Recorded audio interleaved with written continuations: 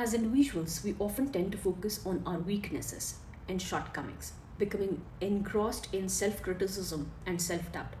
This preoccupation with our flaws binds us to the positive aspects of ourselves and the contributions we make.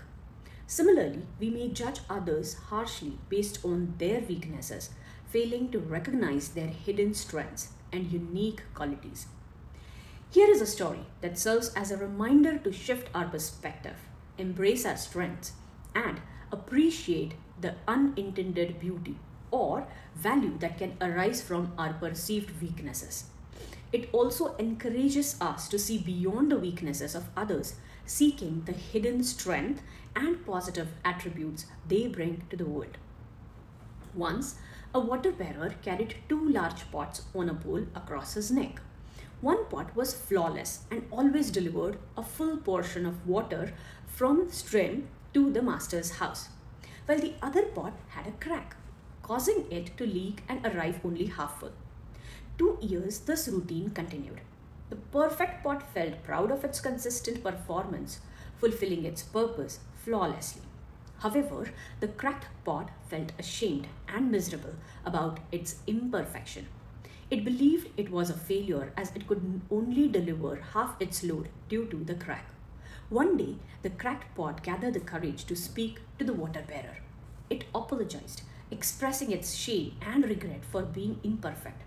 Curious about the pot's feelings, the water bearer asked, Why do you feel ashamed? What troubles you? The cracked pot replied, Two years I have only been able to deliver half my load because of the crack in my side. I feel inadequate and believe I'm letting you down.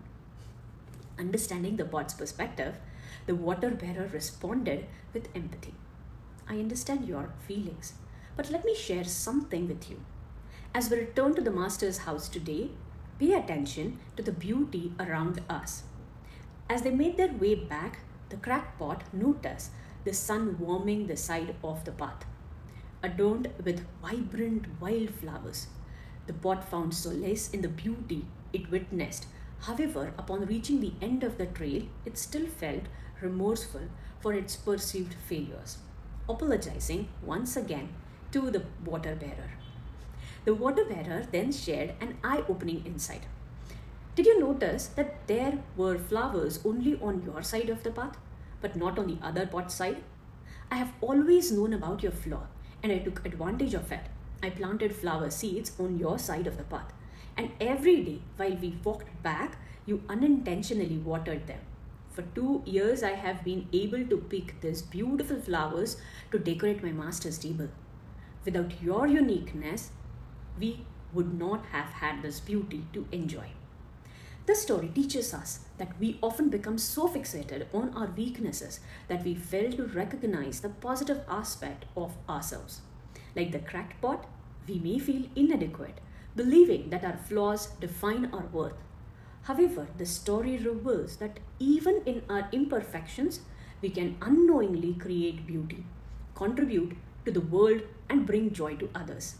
It reminds us to shift our perspective, embrace our strengths, and acknowledge the unintended positive consequences that can arise from our perceived weaknesses.